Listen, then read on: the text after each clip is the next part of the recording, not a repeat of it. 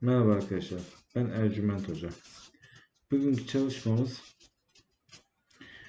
eee, olumsuz kötü rüya, gördüğünüz kötü rüyaları ortadan kaldırmak için, bilinçaltınızı temizlemek için yapılan bir çalışmadır.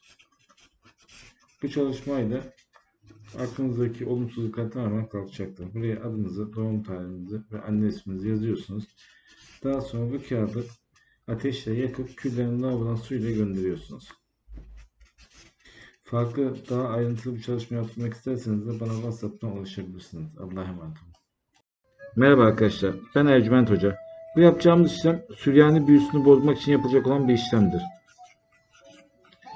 Nokta koyduğum yere adınızı, doğum tarihinizi ve anne isminizi yazıyorsunuz. Daha sonra bu kağıdı ateşle yakıyorsunuz. 20-25 günlük bir süreçte bu büyü bozulacaktır.